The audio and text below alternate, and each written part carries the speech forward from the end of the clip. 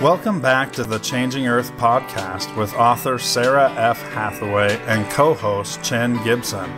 Blending survival, fiction, and fact to bring you entertaining education that will help you dream, survive, and thrive. And now, here's your host, Sara F. Hathaway and Chen Gibson.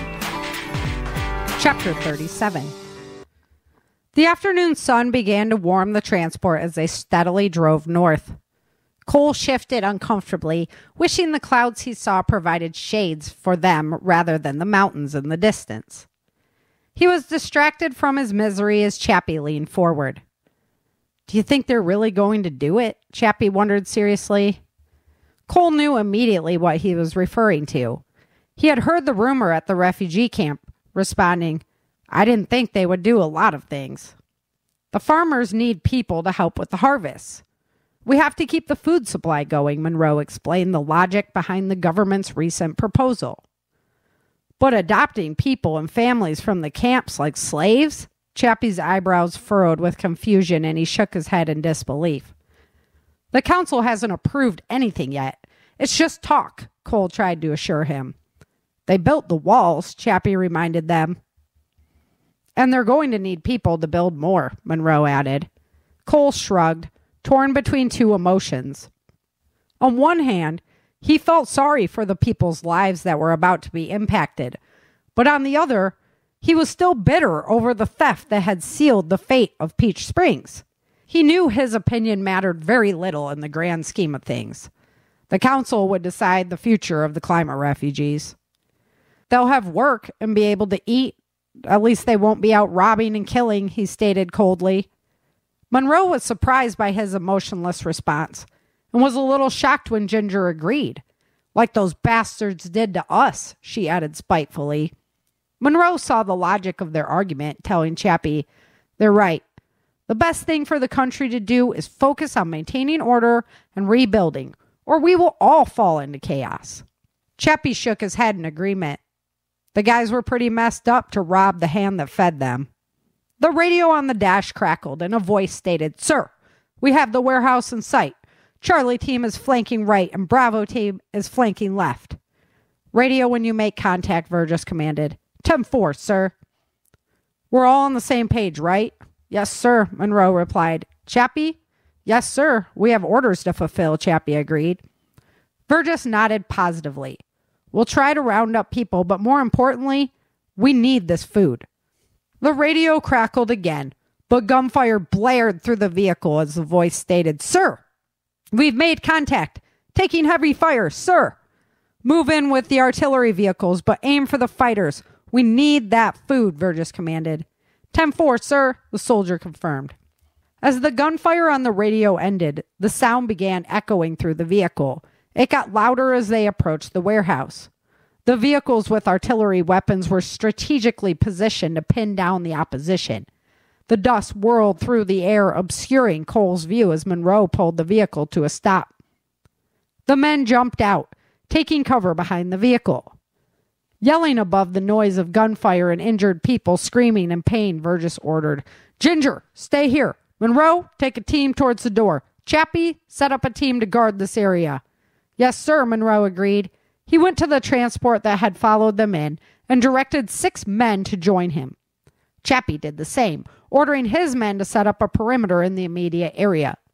Virgis joined Monroe as they breached the door, but to his relief, the cry from the other side was not one of war, but one of mercy.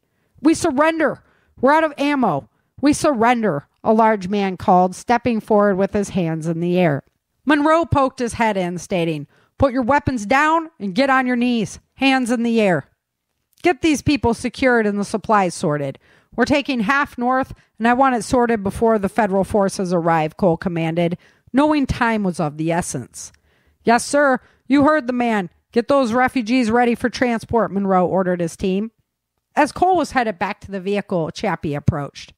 You want me to triage the survivors? he wondered. Cole tried to remain stoic as he shook his head. Chappie returned a curious look. The feds won't waste medical supplies on them, Cole said flatly. So what are we supposed to do? Chappie's voice cracked with disbelief. Wait for the feds to get here. At least then you won't have to pull the trigger, Cole replied. He turned and continued walking towards the vehicle. Chappie ran to catch up. You can't be serious, sir. Cole looked at Chappie sharply, explaining, You know it's the truth. If they can't make it on their own power, the feds won't have a use for them. Just keep the area secure.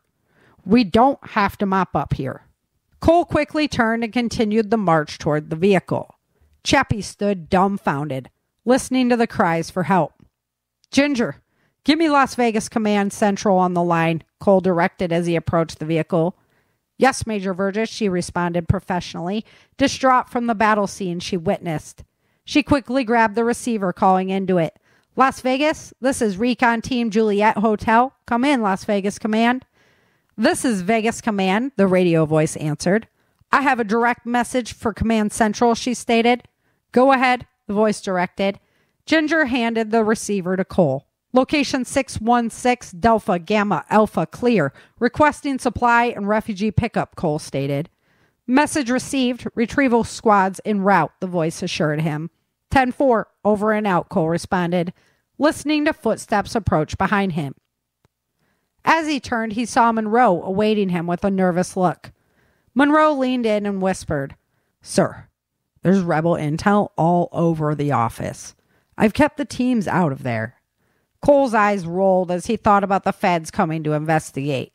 Burn it. Make it look like an accident, but make sure we don't lose supplies.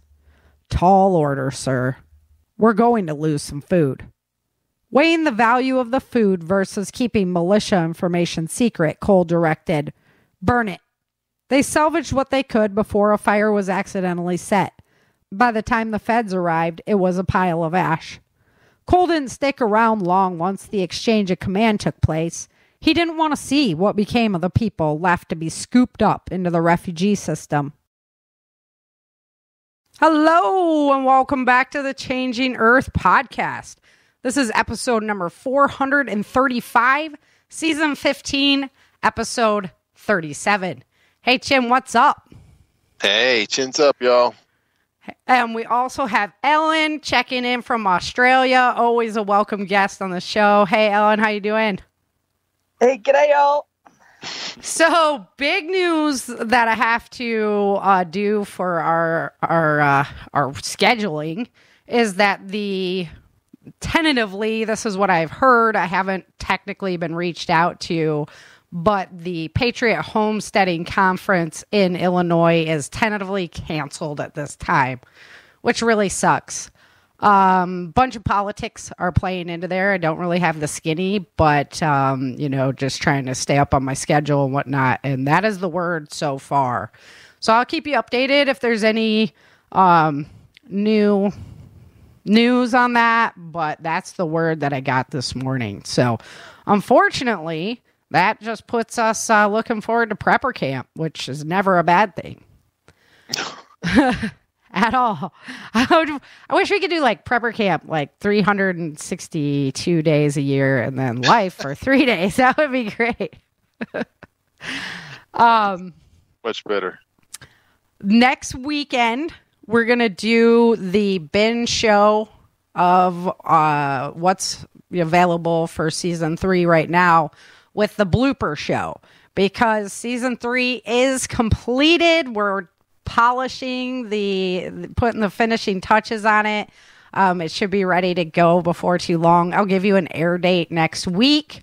Don't have that set yet but it, season three is done.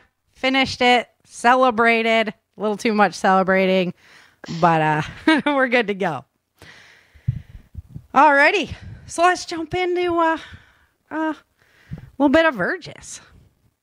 This week, um, well, last week, Virgis got Ginger out. This week, they're just kind of uh, roaming around. There's this, this uh, place they learn of that has food stores there.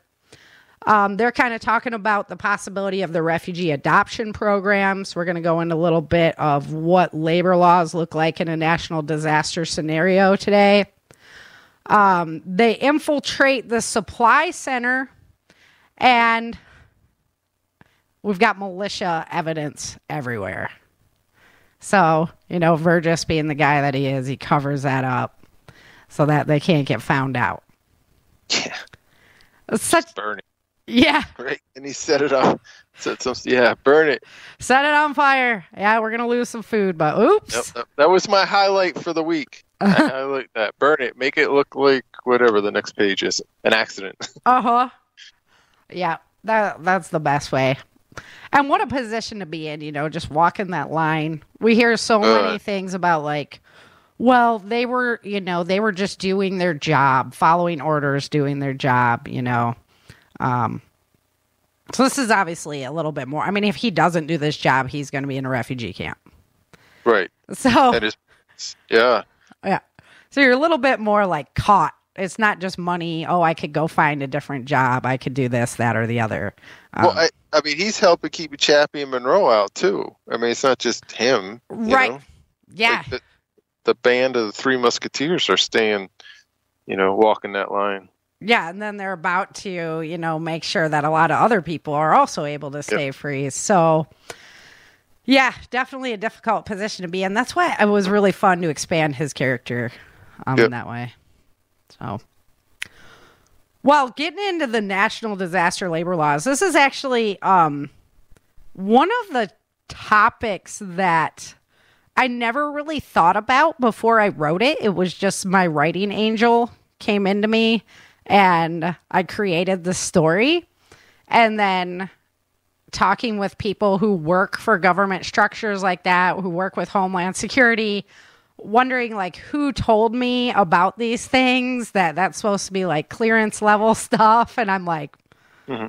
nobody told me. It just kind of flowed, you know, like that would seem like the logical situation when you have so many people and you need workers. Well, that's just the logical conclusion to pull, right? Right. So that's why this one kind of sticks out at me a little bit. Um, I was actually watching a really cool show on um, how America was made. It's on History Channel. And they were talking about the Civil War. And they were talking about how the Union was able to develop private public partnerships to take over like telegraph lines, railroad ri- lines, and put the industry behind the war effort. It was really the first time like industry was powered up on an industrial level to support a war effort. And I found that really interesting because, you know, there's kind of like the beginning of everything's done in good intentions, right? Mm-hmm. But in the long run, what becomes of that in the future when, you know, AI is created for good intentions, but where does it go kind of thing? It, it's like the old Par, Paul Harvey. The rest of the story is what you need to hear. Yes. It's so you can't just you know, just that little blurb that they they try to you know the the the headlines on the newspaper isn't enough to make your decision. Right. It is going to make you feel all warm and squishy. Mm. But but yeah, it's really not. Okay, um Garden Girl on our chat line has so if you guys aren't on the chat, you should definitely get on the chat. It's very very fun to have you guys in the chat. Um but Garden Girl has a question for Ellen. Have things been pretty chill in Australia right now? And I don't think she's talking weather. I think she's talking um, as far as what is Australia doing, because America's been an interesting place to be these days. Um, it, it is definitely heating up here. Um, in regards to uh, borders, again, we had a, boat turn up on West uh, West Australian coast last week, first one in a very long time. Um, so typically, with change of government here, we're very much um, we're two sided. Um, when the Labor government, which is your Democrats, um, sort of sort of way of thinking, sort of left leaning. Um, when typically when they are they're in government, the, these things sort of come start coming forward again. So um, the borders is becoming an issue.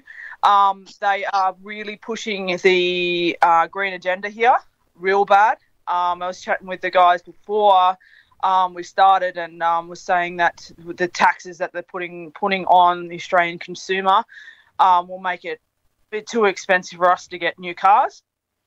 Um, there and there's been rather large protests about the green agenda um, and people losing their farms to put transmission lines. I was going to ask, are you having any like the Yeah. farm uprising, like uh, what's Yeah. happening in Europe? Yeah.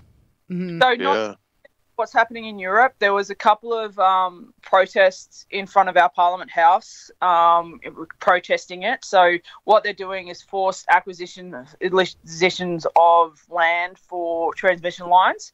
Um, Not so much on um, for solar panels and stuff like that yet, but that is coming. I could see right? it coming. Yeah, because they were pushing um, big time green agendas. Like Australia wanted to be one of the major miners of like lithium and stuff like that.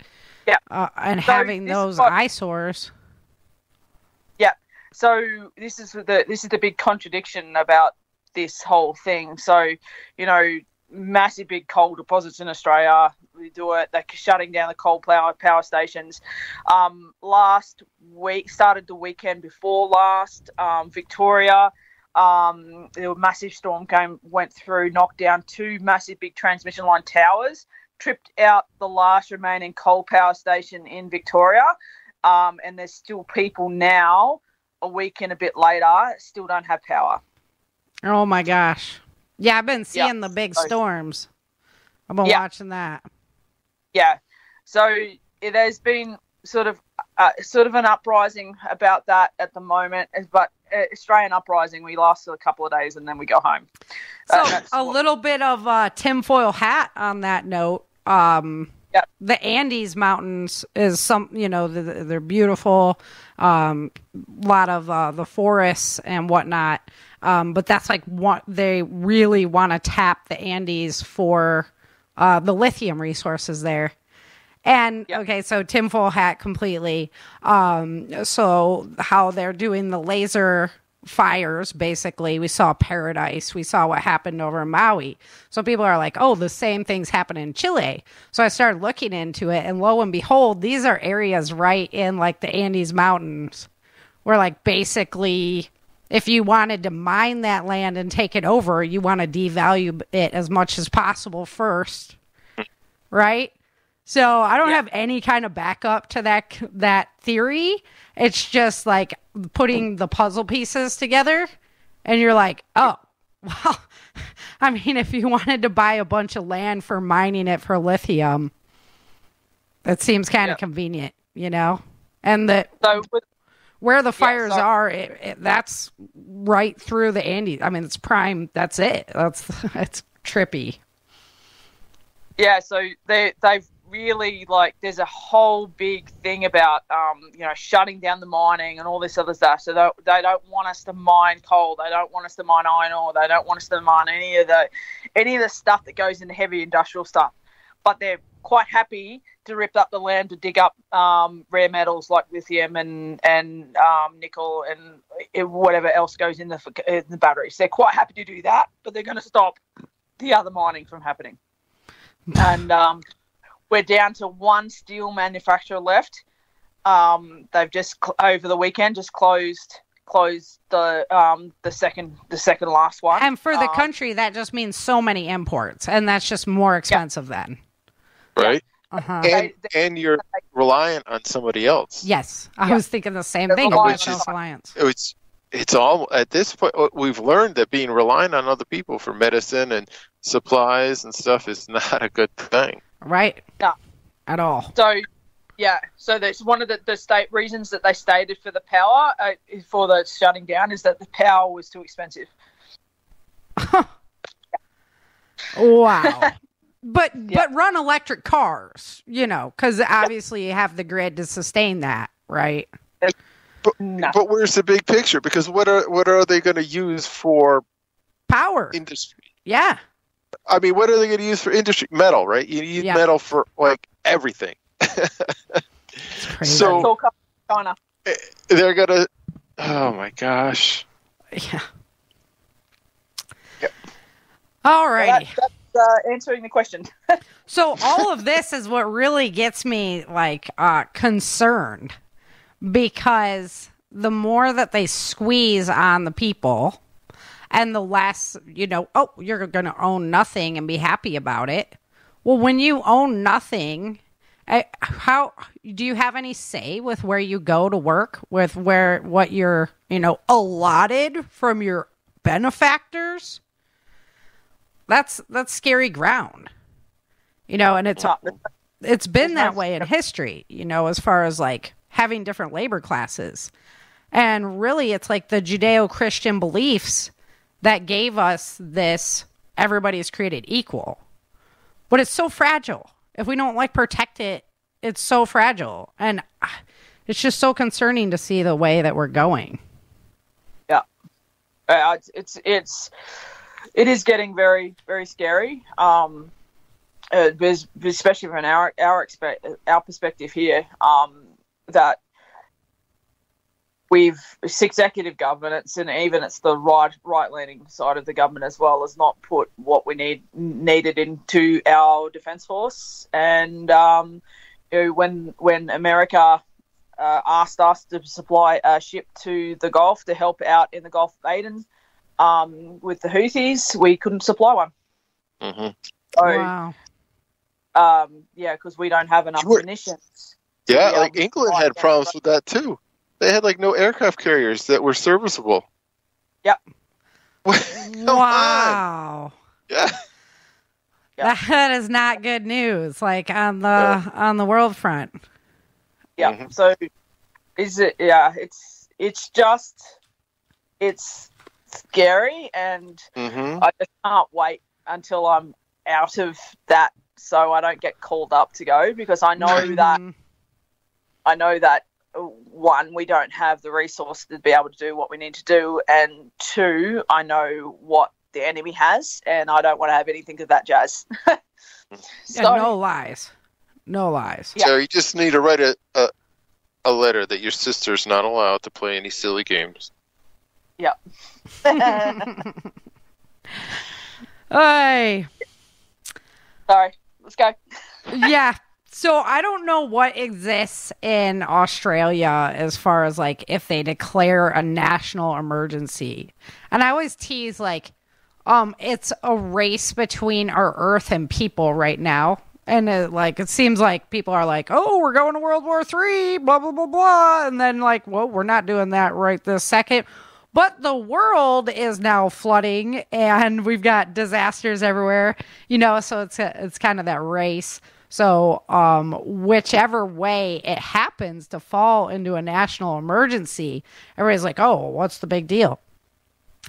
Doug is the one, um, Doug Hogan's the one who introduced me to the executive orders that the United States has in place for this type of event.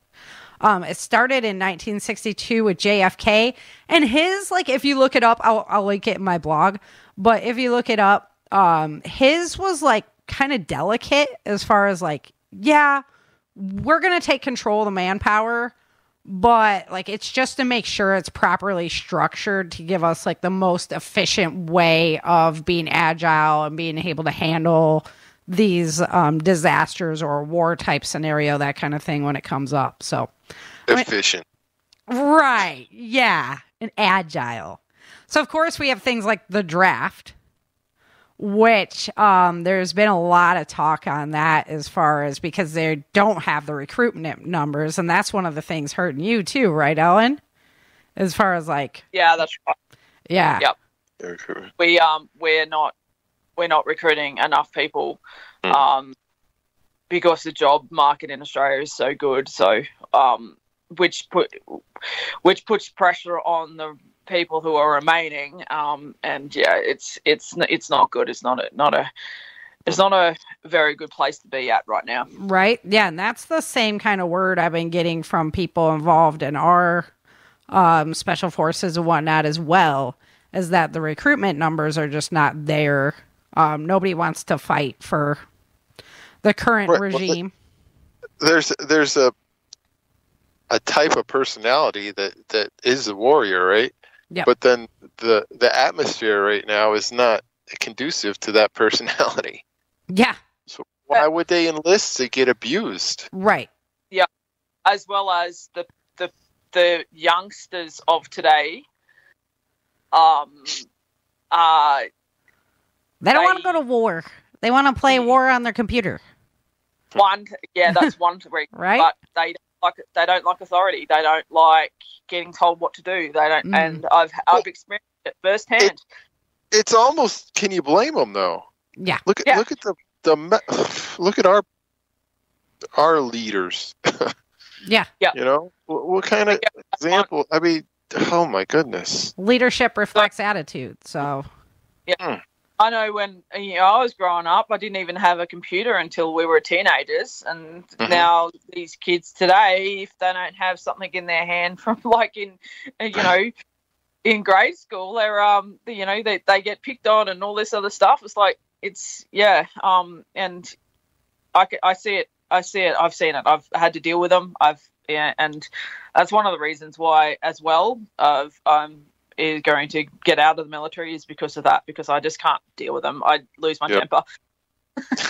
like just do what you're told. You you've got a line, but you know, you can't. And when you bring when you bring them up on this stuff, like when you pick say, hey, this is not the appropriate behaviour, they say, oh, you're bullying, yeah. you're bullying. Yeah. I'm like, I got. oh. Ellen, we need to swap stories. I This is got written cool. up for Yeah. just for telling somebody to do their job. But you And, did it in uh, a mean way. So, yeah. Oh my goodness. So and that and, and that's soci- societal change, right? So that's Uh-huh. that's that is in society now. So um, if it does go to it, you know, you'd have, especially if with the Australian Navy, if we got told, you know, China was moving on Taiwan and we're sending our fleet up, or whatever, um, you'd get three quarters the, of the people that are supposed to go to sea go and psych themselves off.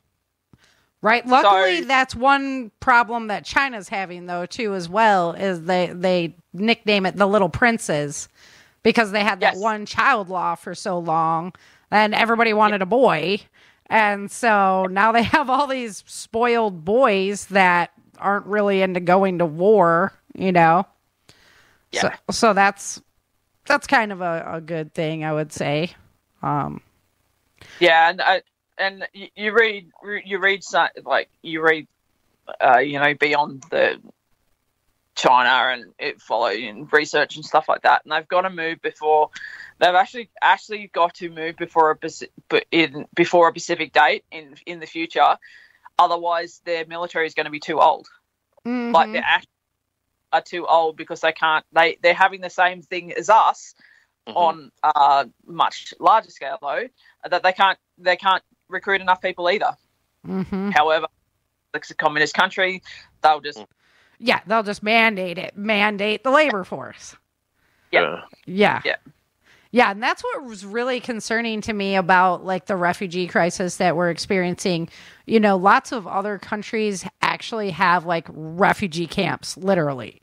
Um, like Greece built one that looks like Alcatraz out on this island. It's doesn't look like a very fun place to be. Wait. we have one in the nation of nauru Right. Okay. Yeah. And um, um, Syria, they they all have. I've done a show before on you know the different refugee camps and stuff. But um, you know, in my story, it's like we have all these people who lose their land and people who don't. So you can't just have people overwhelming people that don't have land anymore and need stuff overwhelming the people that still have it.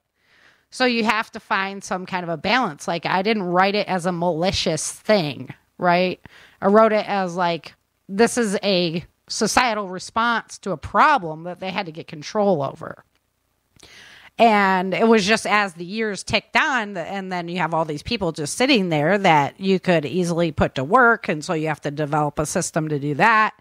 And uh, it's just, it's a very logical conclusion, like a very logical set of how it would go, right? It's just because that's what's in the country's best interest. But obviously, it's not in like everybody's interest. But if you look at what's happening right now in our country, this is basically the problem. We're going to have so many um, people that are non natives to the United States. Um, I'm not talking like Native Americans, I'm talking like, you know, just fresh immigrants versus people who are already lived here. That um, if they don't do something about that, it's already it's already causing a lot of problems, obviously, and it's just going to cause a whole bunch more because everybody who's trying to help will only want to help for so long, you know, till it's like, hey, I'm working my butt off to pay my taxes, and you're getting all this stuff for free. Right. That And my taxes keep going up. yeah, Yeah, and New York, New York City is a collect example of that now. So everyone's starting to fight back on the in the sanctuary city. It's like, no, we don't want you no more. well, and I Right, also because it, it finally affected their quality of life. yeah. Yeah. It's easy to be all high and mighty when it doesn't affect your quality of life directly. And I've also heard that the truckers are going to do a boycott of New York. Yes, I saw, I saw that. So if their like supplies stop coming, and they have a powder keg situation ready to explode. What they say it was like seventy percent or something of all goods get trucked into the city. Yes. Something yeah. like that. And the truckers are like, fine, if you're if you're gonna pull that kind of yeah.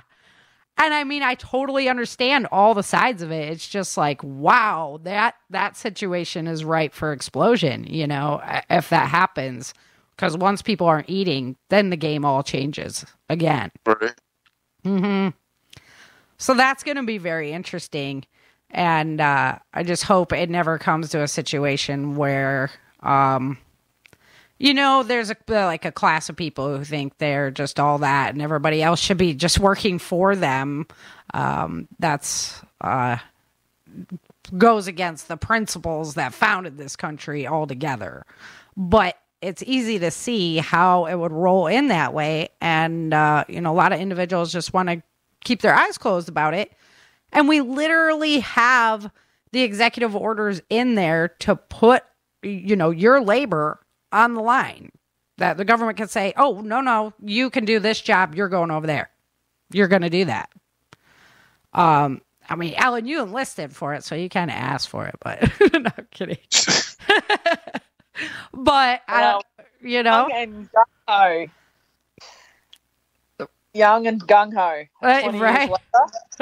yeah. Now you're like, uh, no, can I withdraw that, please? Yeah. Mm-hmm. Uh, but I'll miss the money. yeah, fair uh, enough. So I have to set myself up before before I, yeah, that's that that's that's what I got to do. I got to set myself up. Yeah, It doesn't can't keep going over to friggin' America all the time, though. Well, just just fly into Mexico, walk up to Sarah's house, we'll be all set. yep. Yep. I keep telling her it's no Mhm. problem. Well, you might have to come in through Arizona now. Uh, Uh, well, that's okay. Like that's So- fence, fence near San Diego. Well, the Chinese are using. yeah, I was Yeah. reading that actually today. Yeah. Just just just give Fletch some gas money, he'll come pick you up. Yeah, no problem. well, my big quote for today was, you know, the road to hell is paved in good intentions, right? Yep. So, Yep. I mean, because we have, you want to take care of everybody. It's just like what we talk about when um, it was, it's a long term survival situation. And you have stuff, I mean, that's what we're in, right? And you have stuff, you know, ready to go because you were thinking preparedly. And now, like, do you watch these people just kind of uh, freeze to death on this curb, you know, because they didn't think about that? They didn't do that? Or, you know, do you reach out and help? So we're really stuck in this conundrum, I believe, because um, we are founded on Christian values. And so that does lend us to want to help. But then at the same note, you know, you all don't want to get taken advantage of as well, which is Right. I mean, do you do you feed hundred people for a day out of your stocks, or do you feed your family for hundred days? yes. You know. Yep. Yeah. Because everybody has And- one meal and and, then are you're in the you same boat. mean? Are are you evil for for putting aside for you know for Right. for doing the thing and putting aside so your family can have food for that long? You know. It's so true. I mean, yeah. Yeah. It's just I was I, I was once called selfish. I'm like, you, you that's your opinion. However, um, I'm not going to feed you if you turn up at my door. If the worst does happen, they call me selfish. Then right. Yeah. Yeah. it's like you'll be you'll be getting turned away. I mean, they, Um, you have just as much opportunity to prepare now and be ready for those things as anybody else. Yeah, and and there's uh, you know especially now that you know things are getting way expensive um and it, there's a lot more people in australia that are like starting to realize like hey i need to get i need to get stuff put away because you know a bag of rice Mhm. is going to be two dollars to two dollars Yeah. next week is going to be three or four dollars so Yeah. like um and they're starting there's i- i- in the last probably about last month and a half there's been so many new people joining the the groups that i'm that i'm in here asking for advice and all that sort of stuff it's like and then um yeah it's yeah You know, Um, it's so- it's awesome to have Ellen on because, like, he like we think it's an American, you know, it's like local that we're like, you know, prepared and all this other stuff, but it's it's a global It's thing. global. Yeah, Yes. she's she's facing the same struggles as we are. Mm-hmm. Yeah. Yeah. 100% we are Because It's these to corporations too are, you know, Yep. the private public partnerships Global. are now global as well. So Yes. yeah, we're absolutely all in it together. So you know the um it, all the you know food manufacturers and stuff like that. You know, Mhm. one thing that I thought you know was Australian owned, no, it's been bought out uh, by this massive conglomerate that owns virtually everything else. And I'm like, Yep. Wow, like you finally sold out. Um, so it one, you just it's too expensive to manufacture stuff in Australia anymore. So that's why um, there's the companies are selling this the stuff out. And uh, the bit, the massive the massive thing about us though is that we don't have land connections, so we can't get everything that we get has to be brought in by ship, or um, if it's small by air freight. So you just start restricting that by making it more expensive by having Mhm. terrorists blocking off a um, major route for container ships that go in, you know, around Yep. the world. That starts affecting us. We're paying more in transport costs. We're main, paying more in fuel tax. We're if you gas Yep. tax, everything like that. And it's like, there's no wonder people are starting to hit breaking point. There's people who can't afford to pay rent because rent is so expensive here, just everywhere Yeah. um, and there's people living out of their cars that they've, that have got full time, well paying jobs that they can't afford. To, They can't Yeah. get a house for, one, yeah. yeah. and they're living in their cars, and that's just not in America. That's here too. Like, Yep. um, and It's this you know- global push. The the, the you Yep. own nothing and be and be happy about it. And so if everybody owns nothing, okay, then we're gonna exist in a in a you know utopian environment where we just all share everything and it's all communal. No, there's gonna be somebody who owns it and allots it to you. Yep. Yeah, because you can't get rid of human Uh, greed. I wish we could. That'd be great. It'd be awesome. But but you can't. no, it's part of human nature, and you'll always have that. Yeah, and then they'll decide like, oh, do you are you even allowed to have that shipped in? Are you you know you guys are already kind of Yeah. under that gun. Yeah. Yeah. Mhm. So I'm gonna be gonna move to my little little block if I don't if I don't move over to you. yeah, um, that's what I've been and- saying. and then uh, you know do the whole friggin' um uh what was it called? Uh, the Wolverines. What is it? They block off the town. That that's Oh yeah, yeah. yeah. yeah yeah. Well, So I was thinking like, Jerry- uh, Escape New York, you know? yeah. but block it. It's you seen Jericho. yeah. Um, Yeah. Mhm. yeah yeah. So block off the little town like that and just have it. You know, patrols and all that sort of stuff. You ain't coming in. Yeah. a big thing that for us is that um, for for for one of the things that we we worry about here is Chinese invasion as well. Mhm. So Yeah. um, because we have the resources, we have the resources that they want, and they don't. And because it's not on their home home ground, they don't care if it's a national park. They'll just rip it up. Mhm. They don't care. The Great Barrier Reef. They'll just they'll just go in and rip the whole thing up because it's not their. It's not It's not theirs. China. They're- Right.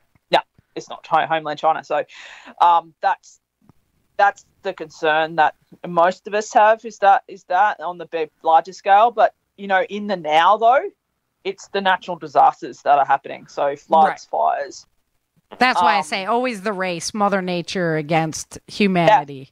Yeah, Yeah. who's gonna bring it down first? Yeah. So, I mean, we, we have we have a whole heap of national disasters here, um, which, you know, we this, we call them cyclones here because they spin the other way instead Yep. of as hurricanes. Um, so yeah, I'm used to having some sort of things packed away because you had to be in, in northern Australia because if you got smacked by a cyclone, you could be out of power for two to three weeks, Yep. and you have to rely on what you put away, um, that sort of stuff. So, um, yeah, but it, it definitely in the um, in Australia itself, a lot of people are starting to realise that hey, that's this is this is uh this is dangerous. Well, that's good. It's good to have people waking up. Um, I get Yeah. I get hits to my podcast. I mean, I have people from all over the world, and it's really amazing to see. You know, I would probably say um, almost a half and half ratio of hits from the United States versus the rest of the of the world, which is so cool um, to know that just like Chen said, everybody's in it. You know, everybody's involved, Yeah. and just being prepared is not like an American thing. Um, but it is so foundationally American, and I think that's the big problem with what um, they're trying to do to our society right now is just make us into these, you know, reliant upon the government whelps and we're a country built on independence. And yes community yes working together but making it for yourself and being able to buy your own homestead and do your own thing and be self-sufficient. And there's a lot of pride in that. And uh, so basically they're just asking us to like just forfeit all that pride and you know all that belief in our country and the the wonderful things that it is and just you know kowtow to what the what the world order is. And i have a big problem with that one. So. You know, there really should be like a book series done, like this little house set out on this big prairie. Yeah. Kind of sounds like that kind of lifestyle, right? right? Exactly.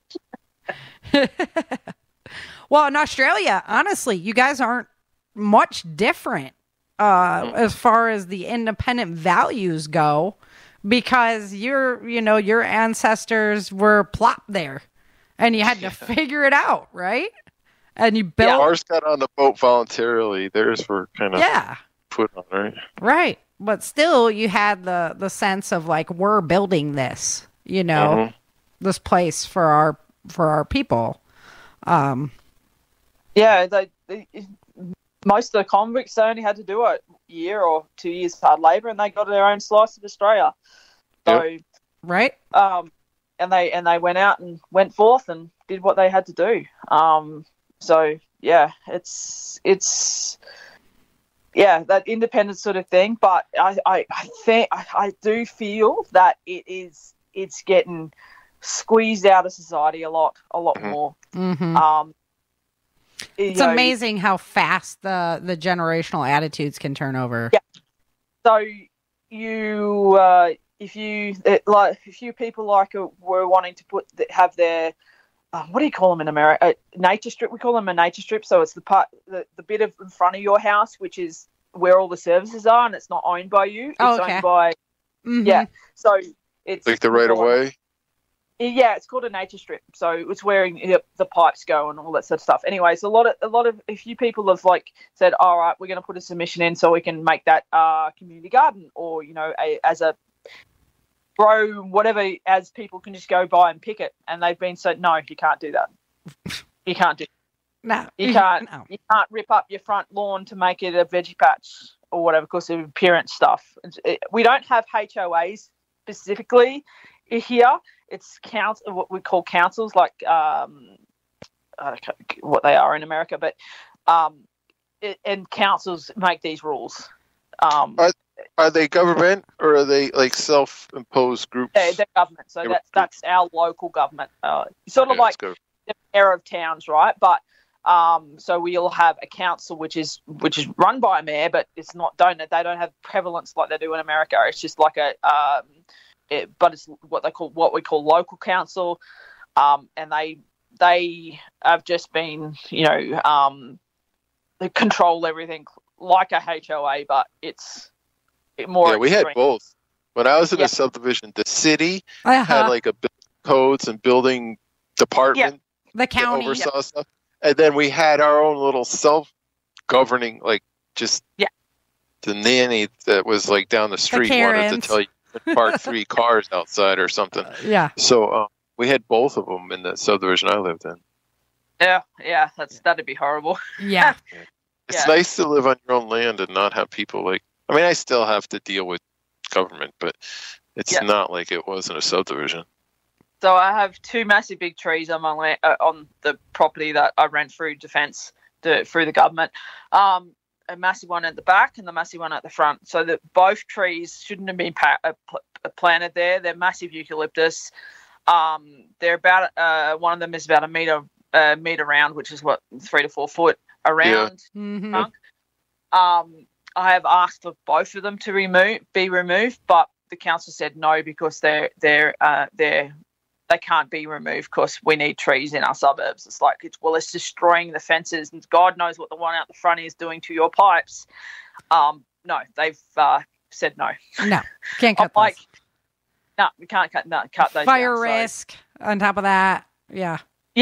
Yeah, Mhm. if I if we we get ambers from the um from the nature park, which is mm, about one half a mile away up in a hill. If we get ambers coming, if that goes up um, in a bushfire, if we get ambers and land in that crown of that tree out the front, the Yeah. whole street's on. Yeah. Eucalyptus just that's hot. Yeah. Yeah. Yeah, hot fire, quick burning fire. So Yeah. um, yeah, it's uh, yeah, it's Yeah. That- and that's the like they they'll tell you you can't cut cut a tree down where where it is actually causing damage. They'll say no, just deal with it. And I'm like, this is just insane. And and, And then- so counter, so counter, like, oh, we care about all this, we care about all that, but then Yeah. it always seems to, you know, contradict itself. Or Yeah. what what? And then they wonder why people don't want to, you know, sign up and go trust these people. Nope. I mean, it's pretty obvious. Okay, let's jump into some changing Earth news because we got to get through that before we're done. You gonna stick around? Yep. All right, I figured you would. Okay, hold on here. We're gonna play the weather music. All right, so there has been some huge plasma ejections from our sun, but nothing is Earth facing. So we get so lucky from the sun, it's not even funny.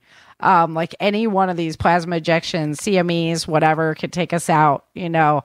And um, they just don't seem to come at the Earth, which is great for us. Uh, but you know, how long does that last? So I don't know. But we got lucky again. So it was south, it blasted off south. It was a huge ejection. It's really beautiful if you like to watch that kind of thing. Um, Southern California is about to get hit with more rain. So that'll be interesting. They've been having some really big landslides, uh, things like that, because they're just overwhelmed with rain. It's been, uh, I work in Northern California, so um, we've had some of the fallout from those storms, but not heavily. But they are getting socked again. The other thing is, a lot of people down there don't have flood insurance because they have to pay so much for earthquake insurance. And flooding is not something you really think about when you're talking about Southern California. So um, it, it's a it's a really rough situation for them down there. Okay, so going back to February 12th, we had 421 earthquakes that were 2.0 or bigger, biggest of which was a 6.1 in the Volcano Islands near Japan. In Indonesia, East Java had two powerful tornadoes touch down, damaging two villages there. In the United States, Alabama experienced flooding. They had ponds overflow. Um, the roads were actually getting ripped up from that flooding and water movement. In northern Oman, they had flooding submerged the north. Four people did pass away from that event. 200 people had to be rescued, and villages were literally being cut off from one another because of the amount of floodwater. In the United Arab Emirates, they had heavy rain and intense hail. Massive damage from this hail happened. Um, strongest hailstorm in 40 years. Uh, but it turns out they were just out cloud seeding for two weeks before that. And so trying to increase the amount of precipitation in that area. And then, you know, lo and behold, it all turned into a gigantic hailstorm. So, um, you know, maybe maybe we don't know as much as we thought we did, and we probably shouldn't be temp, you know, uh, messing with the environment so much, being that we don't understand what really goes into making that that tick. Um, as I mentioned during the show, Chile had another mega wildfire light up. 200 residents had to be evacuated because of this new fire. 520 hectares of land has been lost, and five structures have burned down due to that, that new fire. On the 13th, there was 384 earthquakes that were 2.0 or bigger, biggest of which was a 5.1 in Papua New Guinea. In southern Turkey, they got three months of rain in just 12 hours. Major flooding from that event. One person did pass away. People were literally trapped at home or at work because the rivers or the roads just turned to rivers and, and it happened so fast they couldn't get out of wherever they were. In New Zealand, they had a state of emergency at Christchurch City, 650 hectare fire. Um, 80 properties were evacuated. Luckily, only one home was actually lost. Southern Australia, Ellen, your neck of the woods. Your East Coast was hit with strong storm. Thousands of lightning strikes. I've been really impressed. Um, it's probably impressive for you, but man, you guys get lit up with lightning down there, um, especially when the solar storms are going. It's crazy. Yeah, that's what cause, um, mostly causes the bushfires too. But we haven't. We've had so much rain that the the bushfires haven't been that that of an issue this year. Um, what about Victoria? Um, one couple of fires out there in Victoria Gardens National Park. Yeah. So yeah, it's but not the extent of what it was in 2020. So there's Yeah, like fair enough. fire- um, but yeah, they're they're not the extent of what what we've had previously. Yeah. Gonna always you're gonna always have fires during summer, hmm no matter. Is it's just uh, It's like extent. California. Yeah. Yeah. Yeah. That California actually needs those fires to for the environment to do what it's supposed to do. So Yeah. So yeah. Australian bush is uh, it's it's it's centuries of evolution, right? Yeah, Plants get used to having the fires, and and um, half the native vegetation relies on the fires to be able to regenerate. Yep. Same in, don't- same in California. Yeah, Yep. they don't open the pods unless the fire's gone through. Mm-hmm. So Yep. yeah, All right, on the 14th of February, we had 391 earthquakes that were 2.0 or bigger, biggest of which was a 6.0 in the Philippine Sea by Micronesia. In southeastern Brazil, they got 70% of their February rainfall in 40 minutes, created massive flooding, um, ripping up their roads. They had homes and businesses literally filled with mud from the mud going on the move during this event. So that that's mud is way worse than water. Um, you know, it, with water, you're dealing with like uh, the molds that could happen afterwards, getting everything dried out. But when it's literally filled with mud, you are digging out. That is just worst case scenario.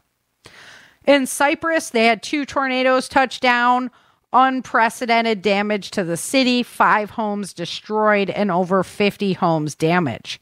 Southern Japan, they had the strongest eruption in Sakurajima. They had volcanic lightning, and the nearby villages are going to receive some volcanic ash from that event. In the United States, we got hit in uh, the New England areas with a powerful nor'easter. They had heavy snowfall, power outages due to that. One gentleman did die on a snowmobile. He ran into a downed utility line. On the 14th of February, there was 413 earthquakes that were 2.0 or bigger, biggest of which was a 6.0 in the central Chilean coast. Iraq saw heavy flooding in Kurdistan. Northeastern Ecuador saw heaviest rain. Um, they've been getting a ton of rain since the 24th.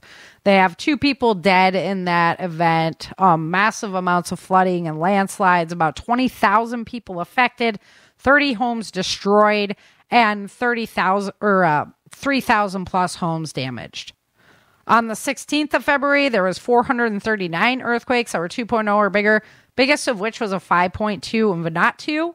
Ontario, Canada got hit with the heavy snowstorm. And then the next day on the 17th, Toronto got hit with a massive snowstorm as well. On the 17th, there was 403 earthquakes that were 2.0 or bigger, biggest of which was a 4.9 in Vanuatu. The Dominican Republic of Congo has been dealing with the worst flooding in 60 years. They have lost 221 lives. They've got a lot of displaced people, and uh, just people have lost everything due to that flooding. So it's a major event down there. Dubai also saw heavy flooding on the 17th. We had a 4.7 earthquake in Fall City, Texas, a 4.0 in Acapulco, Mexico. And then New Jersey was hit with another snowstorm, 10 to 12 inches of snowfall on that day. On the 18th, which is today, so far there's been 356 earthquakes or 2.0 or bigger, biggest of which was a 5.6 in Tonga. And we have that incoming storm kind of putting its bullseye on Southern California again. As far as volcanoes, we have 28 volcanoes actively erupting on our planet. That's the same as last year, or as last year, as last week. We have 18 that are showing minor activity. That's up one since last week. And we have 31 showing unrest. So we did add one to the list this week. Most of them are erupting in Indonesia, but the Ring of Fire is really starting to show a lot of unrest. So that's just an eyes on situation. As far as wildfires in the United States, we have zero acres reporting, three fires contained. Um, and those fires were coming out of North Carolina, Oklahoma, and Texas, but all of those fires have been contained, and they're not reporting any active burning right now. So, all in all, pretty, I mean, we've got some mega flooding events, but as far as it goes, um, I would call that a calmer week. The the earthquake activity is up, that volcano activity is up. We're gonna have to keep our eyes on that, but uh, um, a little quieter week than we had in in a while, I would think. So we had to dig a little bit deeper for for news, so that's always a good thing. We could use a minute of calm after the winter and the crazy, crazy storms and everything, like the cyclones that have been hitting you guys there in Australia and everything. So you got double whammy there for a little bit. Yeah. Doesn't really affect me here though. right? Yeah, up north. Right. Yeah. Well, that's that's the crazy thing about her about the hurricanes too. Like when Sandy came through, um, it was literally like an hour. Well, okay, say two hours from my house, and at my house it was Yep. like sunny, nice, nothing going on. And then just two hours away, they're getting absolutely just creamed with this um, hurricane. So, you know, geographically, it can be a very different story from one area to the next. Yeah, and um, like we'll get the whole because I live on the other side of what we call the Great Dividing Range. So it's the massive big mountain range that goes on the east, uh, eastern coast of Australia. So I live on the other side of that. Um, so the coast will get absolutely smacked, and will be uh, forty-two degree Celsius days. like no rain, nothing, and it's like the Yeah. the whole area will get, and it's like, yeah, we're we're sweating. We're good. yeah, we're Yeah, good. we're- It was a beautiful day for us. Mm-hmm. Yeah, and then um, we'll get we'll get smacked, and then there's nothing on the coast. It's it's just yeah, it's funny how um, the mountain ranges can have a really big effect on on uh, the, The weather weather. patterns. Yeah, for sure. For sure. Alrighty, guys. Well, like I said, I'll keep you posted on the um, Patriot Conference. Tentatively, right now, from what I understand, it is not going on. So if you've made plans to come out there, you might want to check that out. Um, check out their website. But uh, we are going to be doing the blooper show next weekend. That's always a lot of fun. Um, definitely, JB is going to be here with me. We might just do a girls' night. Uh, sorry, Chin, but you'll get a, get a week off. Um, we might get uh, Mr. TJ Swenson to come hang out with us. So we'll see um, what that looks like. And then uh, we're going to be airing the end of season four of season three pretty soon, and then we're on to the next one. So that's lots of good good news. Um, always appreciate if you guys support the Changing Earth. I really really appreciate that you guys do that for me. If you want to help out and become a supporter, go to changingearthseries.com. That's changingearthseries.com. And you're going to find all the podcasts over there, tons of learning material. um the audio drama all the novels all all the goodies everything about the changing earth is over there at changingearthseries.com alrighty guys i'll see you next week for that big event thank you ellen so much for coming on the show you know you're always welcome whenever you get a day off we'd love to have you here with us so appreciate problem. that yeah appreciate you and of course chen thank you for hanging out with me on sunday Mm-hmm. now you can go finish tractor work or whatever you're working on today. That was fun hanging out with Ellen this evening. yeah. That Yeah. was a good time. Last night she's like, "What about tomorrow?" I'm like, "What happens tomorrow?" The look on your face is like, what? what? What am I doing? ah, yes. Sara at her finest. Uh, we'll catch up, and, and who is going to prepper camp. So I'll see you all there. Yes. Yeah, you guys get on get your tickets to prepper camp. It's going to be a ball. It's going to be in September. So, um, make it happen. All right, guys, until next time remember, dream Survive. Bye. Thank you for joining Sara and Chen for this episode of the Changing Earth podcast. Don't forget to pick up your copy of Day After Disaster, Without Land, The Walls of Freedom, Battle for the South, Dark Days in Denver, and The Endless Night at www.authorSaraFHathaway.com. If you love the Changing Earth series and podcast, become a supporter while you're there.